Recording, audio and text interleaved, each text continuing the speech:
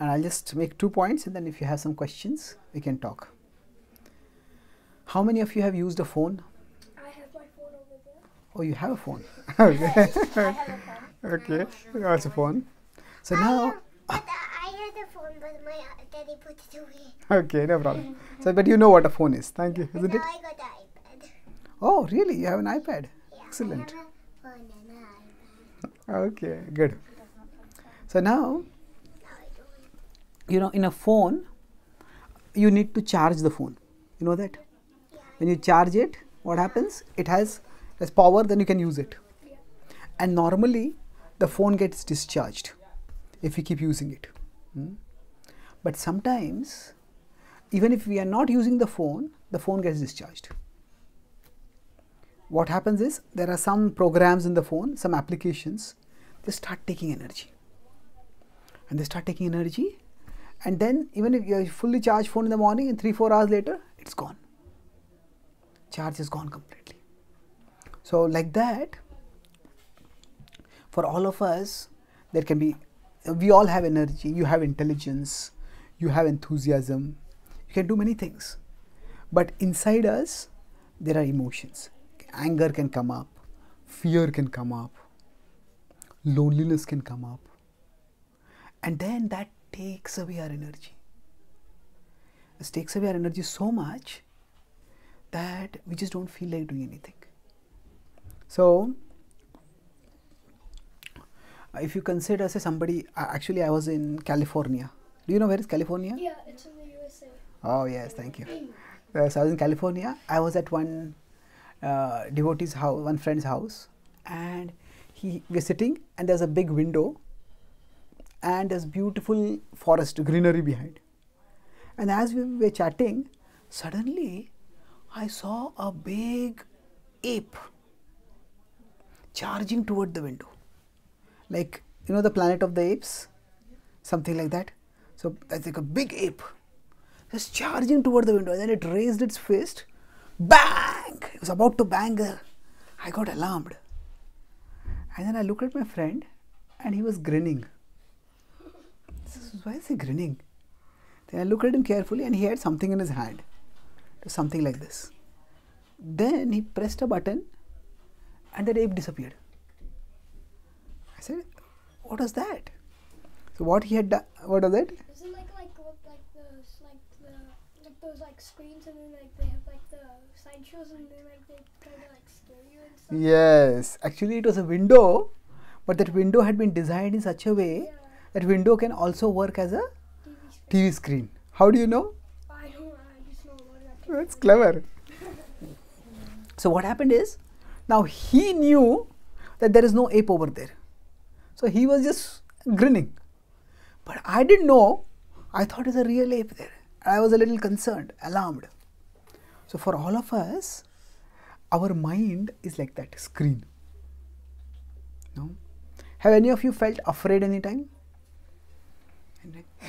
Isn't it? Have you never feel scared, Shanti? You feel scared, isn't it? So now what happens when we thank you? When we feel scared, what happens is that them, sometimes there may be some danger, sometimes there may not be any danger also. But our mind, which is meant to be like a window, which shows us what is happening over th- outside. It becomes like a TV. And it starts showing a movie over there. This may go wrong, that may go wrong, that may go wrong, that may go wrong. I was in America, I was in a conference on spirituality and mental health. So there, one of my friends is a is a suicide counselor. That means if somebody wants to end their life, they're so frustrated, then they call. They're so depressed, and that person speaks to them gently. There's also tears here. Oh, is it? Okay. so then, what happened was, this this friend told me that he got a call from a girl, a teenage girl who had already committed suicide. How can she call? She had she had committed suicide means she had taken the pills, but then after they started taking the pills, she was, I don't want to die. So then she called. she came. Then they brought an ambulance over there, and then they asked her that uh, They finally they got the ambulance. They saved her. They asked her, "Why? Why did you want to commit suicide?" So she told that what happened. She was in the university, and she was a medical college student, and she had been then in medical college. They had four years at that time. So three and a half years, she had always been the first, and she was brilliant. The last year also is fully likely that she will come first. She, very good, but somehow a thought came in her mind. What if I don't come first? What if I don't come first? Oh, then I'm so famous. Everybody respects me, but then nobody will respect me. Somebody else will be the first. And throughout my university, I was the university, I was the first. But last year they're first, then they'll become famous. They'll be considered as the university topper, not me. And my life will be ruined. Oh, how can I live such a ruined life? Let me end my life. And just because of that one thought, she started. She actually took the poison pills. And then after she took, after that, after she took it, what am I doing? What did I do? So what happened was, so she is here, the mind is here, the world is here. So in the world there was no problem. She had her exam, she was well prepared. But on the mind, a movie started. And in that movie, what happened? This may go, this will go wrong, this may go wrong, this may go wrong. It started displaying that. Once it starts displaying that, what happens? We get fear, we get anxiety, we can get a panic attack. So basically, our mind can cause us two main problems. One is anxiety, fear, like you said, scared, and the other is depression. Have any of you felt depressed any time? Really? I felt depressed? Okay, thank you. So what happens is when we are when we are fearful, the mind becomes like a movie and starts showing something from the future. This may go wrong, that may go wrong, that may go wrong, and we become fearful. It's like that ape comes over there. There's no ape, but we think the ape is there. And when we go into depression, the mind goes behind. Oh, this went wrong in your life. This that person spoke a lie to you. You were not able to do this. This didn't work. That didn't work. And we start thinking like that, then we become very depressed. So what we need to do is this mind is always there, but when it becomes a movie, we need to become understand it. If it becomes a movie, it will drag us away. So it has to be kept a window so that we can focus. Otherwise, completely carries us away. So what do you do? Now chanting is one activity which we many of you said it seems difficult. I also agree. Everybody finds chanting difficult, but the mind and chanting are very interestingly related. What happens is the mind is like a screen on which either it's a window or it's a TV. So when when we understand where the mind is like this, say right now you're sitting here, and suddenly you hear a scream from behind. Everyone turn around. What happened? Isn't it? So that means on the mind screen, right now you're hearing me, but some other sound may come up over there. And then you start looking at that sound. You start paying attention to that sound. And that way we get distracted. So if we understand this mind is very tricky. And if we just make sure, even if we can't, if we can understand when my mind is like a screen and when it has become like a movie, when it has become like a TV, when it is like a window, when it is like a TV, then we won't get worried unnecessarily. We won't get disturbed unnecessarily. And this is where even praying to Krishna helps a lot. Now, where is Krishna present? Do you know? Where? Goloka, very good. Somewhere else?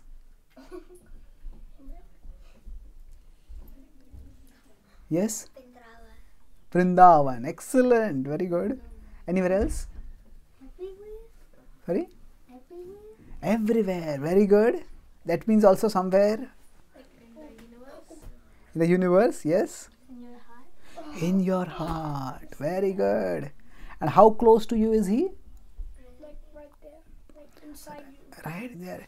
Even if I hug you, when somebody comes and hugs you very tightly, hmm, still that person cannot come as close to you as Krishna always is.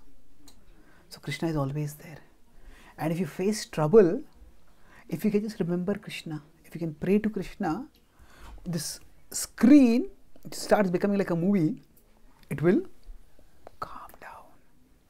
I'll, so that's the first point I told is about this model, or a screen. So one, I'll tell one story, a real life story, and conclude with that. About two years ago, I had gone to America, and when I was in America, I went through the security. You have gone through security when you come inside the country. So when I was going through the security, suddenly a big noise came. And before I understood what happened, there were like seven, eight American border security with their guns pointed at me. I said, What happened? They said that actually I had gone through security. That time the, the sound didn't come. And I was waiting on the other side. I usually use a wheelchair. So I was waiting, and then suddenly that noise came and the guns were pointed at me. I said, What happened? So, you know, what is this? A crutch. Crutch. So, they said, We have found an explosive in your crutch. We have found, not our, our security system has given a high explosive alert. So then they said, What is there inside this crutch? Nothing, look, it's a crutch. I use it for walking.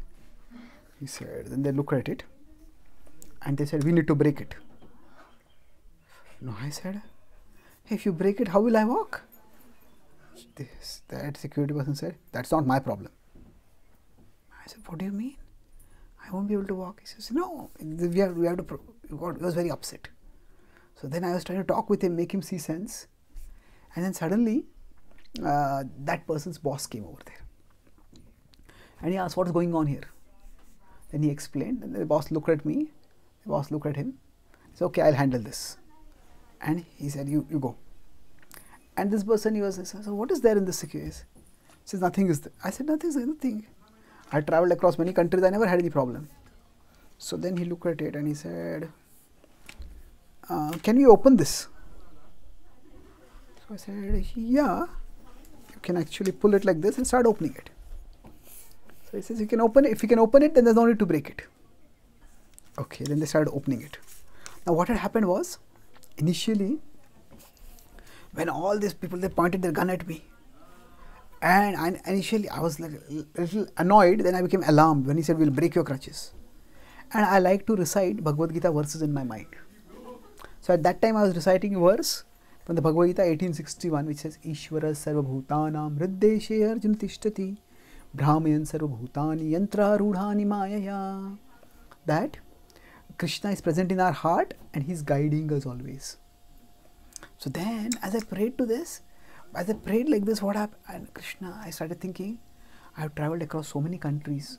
So many things could have gone wrong. A plane could have crashed. So many accidents could have happened. But you have guided me always. Please guide me now also. I surrender to you. I just thought like that. And immediately the second security person came. The first person was quite, quite disagreeable, almost nasty. But the second was a nice person. Said, Can you open the crutches? He said, Okay. Then he started opening the crutches. And then as he opened the crutches, then he looked down. Then he's like this part came out, and then he looked down, and he put his hand or something inside and took out, and something black came out of it. I said, "What is this?" I said, "What? What? What does it look like?"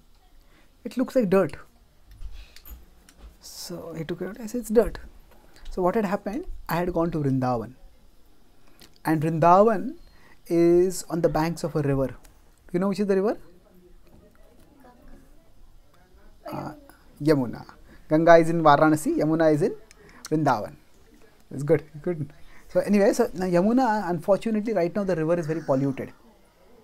So what had happened? I had walked on the banks of Yamuna, and this rubber padding that is there, uh, crutch tip it is called.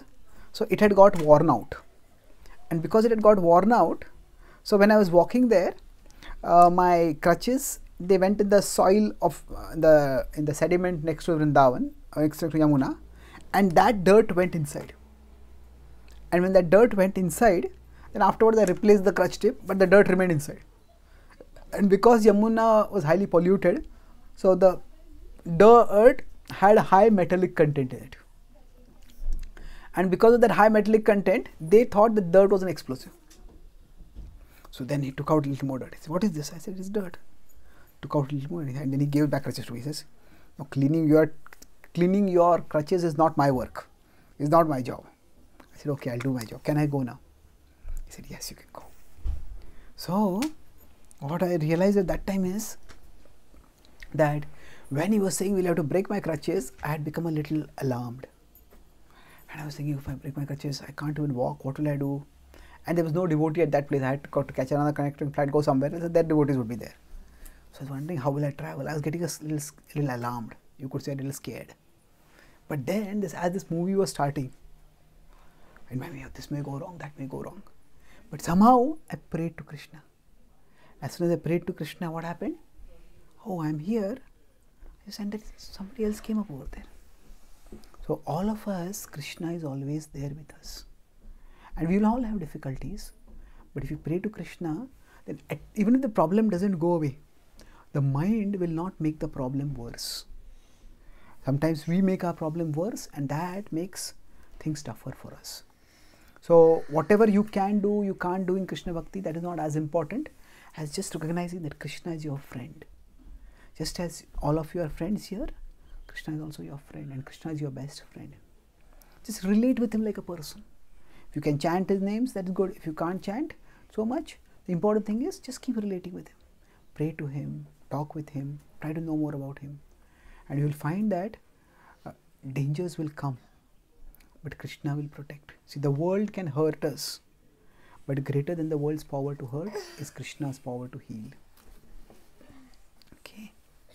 So that's what I want to tell you that you, are young, you are intelligent, all of you are very smart. I can see the way you spoke and answered my questions. So Krishna is there to help you. Just take his help and march ahead in life. Okay. okay. Any questions? Um, Yes. Do you have any advice for our chanting?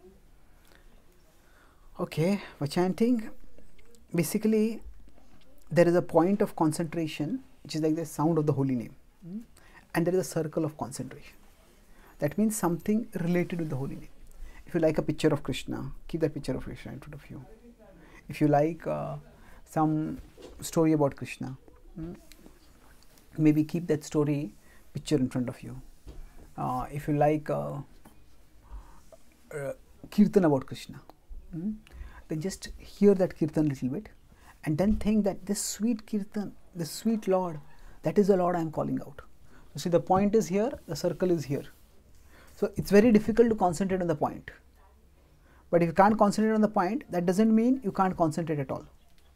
So instead of letting the mind wander everywhere, let it go to the circle. And that way, just look at the picture, think of the picture. And that way, if you can't keep the mind here, let it be here, and you will find that still chanting will go on well. Okay. You had a question? Haribol. you have a question? Okay, I will answer a question which you have not asked. Mm, This is a common question. This is when do your friends ask you why do you eat vegetarian food? Yes. What do you answer because First I asked them, do you like animals? They're like, I love animals. They're, they're like friendly and nice. I'm like, why do you eat them? Because they, they say they're yummy. I'm like, wouldn't it be nice if you didn't eat your friends? So then they just like walk away. Walk away. Huh? Okay. Oh, that's a, why do you eat your friend? That's quite pro. Mm, see, there are two three ways in which we can share. I call it as prescriptive, normative, and descriptive. Prescriptive means like a doctor gives a prescription. Do this, don't do this. So that if you tell, na, it's it's sometimes people are people are put off by that. You should do this. Why, why do you eat your friends? You should not eat your friends that people are a little put off. Normative means this is right, this is wrong. This is the norm. Descriptive is that this is what I do and this is why I do. So all that you are saying, all that is correct. Just the last point you change it. Is as a, do you like animals? Yes, love them. They're my friends. So then you can say, they're my friends also. And I don't like to eat my friends just don't put it why do you don't ask them see what happens when you ask them it becomes a challenge it becomes a threat then you then it, they will feel like you are attacking them. So, so just say that I don't like to eat my friends. Oh yeah, that makes sense. So what you do? Descriptive. Descriptive means what I do and why I do it. If you present it like this, then friends will not. They will. They will. Okay. They will, okay. I understand what you're saying. Just because you are doing it doesn't mean they have to take it up. But if you explain it logically without threatening them, they may also take it up at a time. Okay. Good. You're saying something? I already answered my. You already answered my question. Oh, okay. I think you're going to my dad's book for like a speech. I- I Yeah. think- Yeah. Hmm. Okay. Okay. Another common question comes up when you say that about food. na? They say that you kill, that we kill animals, you kill, kill plants. What is the difference? Yes? Plants not living. Really? And, and plants don't have soul. Oh no, s- plants are living, but like, pl- do plants have souls? They grow, They, they have souls. Yes, what do you think? I will, I, for us to survive, any living entity to survive, some amount of violence is necessary. And being human beings with high intelligence compared to other species, we can make that difference between causing less amount of harm to other living entities, and thus we reduce the amount of violence we cause to other living entities by eating only plants. Beautiful. Yes. Very good. So, it's yes, plants is also killing, but you can take it in three different ways. First is I said from our perspective that is true. And again, a scientific perspective also you can say that the plant's nervous system is very underdeveloped. So their capacity to experience pain and pleasure both are very limited. So what you said that, our plants are not living? No, no, no, no. I'm saying no, no. I'm not, not. No. Why do we think like that? Because we can't. They, they don't experience pain and pleasure the same way like animals do. Uh, a dog may smile, a dog may scream, a dog may tremble, but plants we don't see like that so much. That's why it's easy to think that plants don't have emotions. They have, but it's very less. That's one point. That's one point. Second point, you could say that somebody says, no, no, but they also have life. How can you take their life? Yes, sir, there is a difference. Now, if you consider, they, if you are, if you told your parents that you know our school is going for a trip, say where? Oh, we are going to a, a farm to see the harvest festival. When the what is harvesting? Does anyone know? Yeah, speaking of the fruits, skipping of the crops, that's harvesting. yeah. So now you now most parents say, good, you can go and see. It's a, it's a joyful mood over there. That nature has given its fruits or flowers or grains, and we go and pick it. But suppose you go and tell your parents, we're going for a field trip. Where? To a slaughterhouse. Now, will any parent allow Where? slaughterhouse where animals are killed? Oh, So why not? There's a difference between the two. We all intuitively understand this difference. So you can talk in terms of causing less pain. You can also talk in terms of a nervous system, and also talk in terms of common experience. That you know we understand that the animals don't. Uh, uh, animals suffer much much more than humans, and that's why we uh, want to cause minimum pain. So what your answer was right. I just give some more points about it. Any other questions? So I w- yes, please. Why don't we eat onion and garlic and mushroom?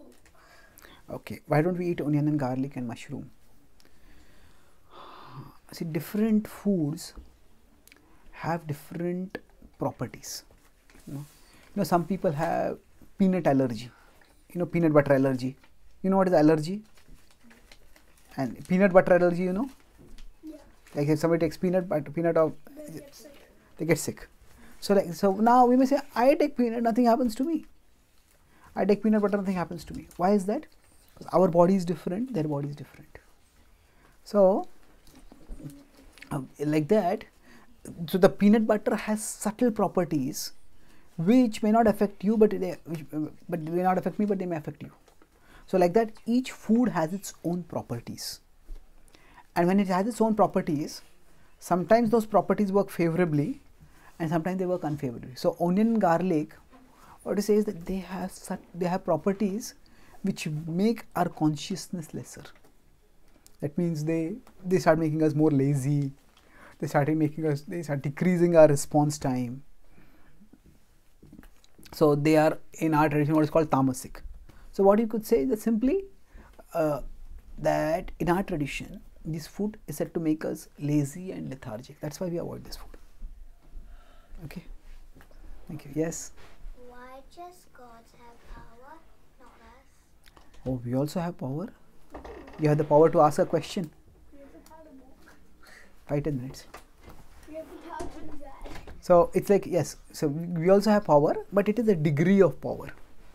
Just like say now, mm, if uh, a judge says, mm, send this person to jail for three months, what will happen? That person will be sent to jail for three months. If you say, send this person to jail for three months, will that person be sent? No. No. Why? Because there's a diff. Yeah. Everyone has like a different amount of like power, like like like. Yeah. Like Yeah, that's true. like Yeah. So the yeah, but why is that? There's a different position. The judge's position is different. Your position is different. So like that, there are different people with different levels of position. So God's position is higher than us. The Devata's position, the Devata's position is also higher. That's why they have more power. So now you have some power. You grow up, you will have more power. So power is temporary, but it changes. So they just have more power than us because they are in a higher position. Okay. Yeah. Okay, so at school, like all of my friends and other people at school are always like, I don't know, going out with each other and like going to movies and stuff like that, Hmm. like enjoying themselves and whatever. And it's just kind of like weird for me because I feel like I'm not allowed to go because of Krishna consciousness, but at the same time, like, I want to spend more time with them, but like, I don't know, I don't. I just get really confused and confused and kind of pressured to like where to draw the line to like Okay, that's a good question. yeah It is difficult to decide where exactly to draw the line, and I understand the challenge uh, to some extent because I was also in college and I was practicing Krishna consciousness. I was working in a company long time ago, but it's a common, it's it's a universal challenge. So I said two three things. First is that mm, there are different kinds of friends. Mm. Some friends we just hang out with, but we don't really we're not very close to each other. Mm and like some some people may have like say, say i have five th- 500 th- facebook friends. But actually when they ask for help nobody is there to help them. So they say that good friends take you to lunch and bad friends take your lunch did you get it so take your lunch means what They're like, like give me your lunch. yeah, just take it and eat it, isn't it? so there are different kinds of friends. So and uh, so what we have to see is that many of the activities which people do together, okay, which friends do together, you know, those activities, uh, they may lead to some bonding, but it is it is quite superficial. It is not very deep. Now, if you want to do it, you are you are ultimately your own person, and you will grow up, and you can always do it mm, as you grow up. But the point is that these activities which lead to bonding, that bonding is superficial. Real deep bonding happens when we do something worthwhile together. Maybe you work on some project together, you discuss some subject together, gain a better understanding with each other. So, I would say that there are different situations. One is if they are doing activities which are which are really bad. Say for example they are drinking or they are smoking, they are taking drugs. So what happens? Going to movies might seem just harmless, but many times if the crowd is not right, then from there it just goes down. I was just in, I spoke in MIT. You know what is MIT? Which one is it? Massachusetts. So one of Massachusetts uh, Institute of Technology in America is one of the biggest. It's Ivy League. So there was an Indian boy over there. Nice boy. He had come there for to study in MIT. Like in America, his parents had taken a loan and he had got there. And just in his first week, his friends took him for a party. And there, what happened? He had he had never drunk, but he drank. And after drinking, uh, they all had to come back, and all his friends were very drunk. So there was no one to drive their car. So they told him, "You drive." Now he drove the car, But What happened? He had also drunk. So the car, as they were driving, suddenly a child came in the way. and The car hit the child. The child survived, was injured, but what happened? He got all the blame. See, hitting a child while driving is bad, but hitting somebody while while driving drunk is even worse. And he got caught in the crossfire, and all his friends blamed him. They were not really friends. And then it was such a tragedy. His parents were uh, heartbroken, and he was sent from university back to India. So now I'm not saying this is going to happen to everyone, and not all friends are like that. My point is that simply this, that the activities for bonding. If somebody says that you know I'll be your friend only if you come for this party, if not, no, then that social circle may not be the best for us. From there we may be dragged down. So uh, even if you say no to them sometimes, mm, there are other activities where you can connect with them. And as far as uh, enjoyment is concerned, you know, it's uh, there are some activities that are thought of as enjoyable, but whether they are actually enjoyable or not, it's a question. I mean, there's a little enjoyment in it, but then uh, people often become they just hang out, but they feel lonely. That's why they get drunk, they get stoned. So what you could do is, in your the first thing I said is that the friends who make their friendship conditional to you going there, they are not necessarily your real friends. They may drag you down. Second is that in your friend circle, you try to find out some friends, even one, two, who are relatively like minded. And now, yes, as devotees, we have some things which we do, some things which we don't do. But it's not that you reject the whole world. You may read some books, you may play some games, and actually, playing games is healthy. Watching movies is it's not really very healthy in a sense. So, if you, you can find activities which you can do and which your friend like to do, and you can bond over them. Hmm? And thirdly, okay, we'll play a game now. So, who would like to play the game? Okay, one person. Mm, one person. Okay, yes, please come up. Please come. Okay, stand here. Hmm? Play a game. Play a game. So I don't know what to play. See what I mean by this is thank you. What I please sit. What I mean is that see if you give complete freedom, it leads to complete paralysis. If I tell him play a game, but I don't tell him any rules of the game, I don't tell him any framework for the game, what will he do? Isn't it? As he asks, what game do you want to play? What rules are there of the game? So what happens? There are two kinds of freedom. There is freedom for and there is freedom from. So of what, what I mean by that is say we all if there are too many options for us, say uh, then we won't know what to do. If every time you have to send a message on your phone, the phone asks you, what font do you want to use? What font size do you want to use? What color do you want to use? Uh, what background do you want to use? What fill do you want to use? Now, I went in that font specific font uh, settings. There are like 25 settings. Now, each time, if it started asking you for 25 settings, you'll get so tired of making the setting, you'll not send the message only. So, for all of us, we need certain things to be set in our life, and then other things can be adjusted. So, the rules, even for playing a game, rules actually help us to play the game better. Have any of you played cricket? Yes, okay. So now suppose a bowler is bowling and say it now the cricket world cup is there. So final match is there maybe between India and Pakistan or between New Zealand and Australia and the bowler wants to get the batsman out. The bowler comes very fast. So the bowler is, comes here, the batsman is here and the bowler runs right down the pitch, pushes the batsman aside and knocks down the stumps. That doesn't count, isn't it? Why? Because even to play a match, play a sport, there have to be rules. So there are no rules, say the batsman hits the ball, ball, and the ball goes into there, and the wicketkeeper is coming to catch the ball. The batsman hits the bat and hits the wicketkeeper. what will happen? You can't play like that. So, for playing any game, you need rules. So don't see the rules necessarily as restrictive.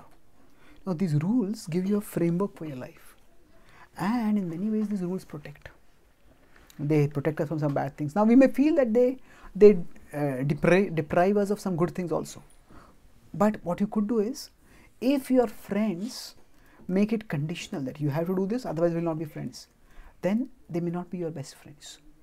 And bond over like-minded things and just use your intelligence. So what at the same time um, i was just in where was i i was in america i spoke at intel. Who uh, no at, who is the, i spoke at microsoft. Who is the founder of microsoft? Anyone knows? Bill, Bill Gates. bill gates yeah. So you know bill gates he had a he the one of the in that in microsoft only they showed me. Bill gates he minimizes how much his children use social media.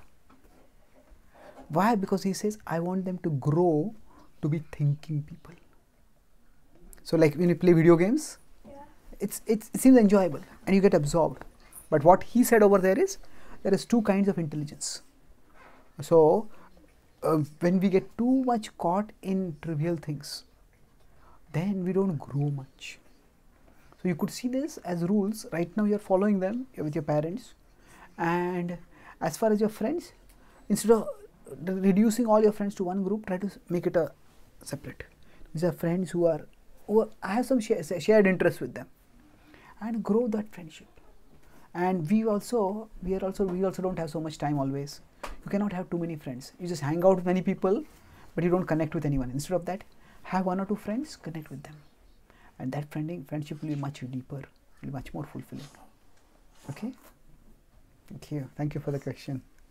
Anyone last question? I have a question. okay you, we'll come to you then Um, if you want to uh, achieve something, how do you achieve it? if you want to achieve something how do you do it? I think uh, i can give a whole class on it but broadly uh, i would say three main things. The first is that we desire then we envision. Envision means make a plan. How should i do this? Okay i want to become a i want to become a doctor i want to become a lawyer i want to become a whatever. I want to achieve something. Make a, make a plan for it and then after envi- envision is execute. Okay what can i do right now? We think about if i give you a watermelon eat it now. Uh, how do i eat it? What, what will you do eat it. Cut it. So like that when you want to achieve something cut it down into small parts. Okay i want to do that. What can i do right now about it? Hmm? and just take small small steps forward. And then so i call it four form that deep go deep. Desire envision execute and pray. Pray means that when you are doing something some things are in your control some things are not in your control. So what is not in your control? Is pray to krishna about it. And if you keep doing these four things gradually you will grow. And then we can achieve things. Okay? Thank you. Okay, last question I don't know. This doesn't really apply to everybody, but my like my well, not necessarily my parents, but I think just around me, I just have this like pressure because I'm at the point of time now where I need to start deciding like what I'm going to do at university and like take subjects accordingly and stuff like that. And like, I know what I like doing, but like every time I like research into it, I like kind of get this almost like like anxiety feeling that like you know like if I chose this like am I gonna make enough money? Like is there enough jobs? Maybe I should do this but I don't like doing that. And there's just like a lot of confusion and kind of stress regarding that. Hmm. so I just kind of wanted to know like do you think that you know for like a career kind of profession kind of thing like should we choose something that is actually kind of like likable that you that you actually enjoy doing? Or should you choose something that's kind of more kind of like more like good money earning? Okay. Like, likeable or lucrative you could say which you can give you a lot of money. I'd say sometimes we may have to make a choice between the two but it's not always like that. Sometimes you may find something which works both ways also. So what you could do is that uh, sometimes what we think we like now our mind is very fickle. We think you like it now but maybe after three months hey, it's not so likable also So some so what you could do is write. See when uh, uh, and thoughts are inside our head, they congest our head. Just keep going round and round and round.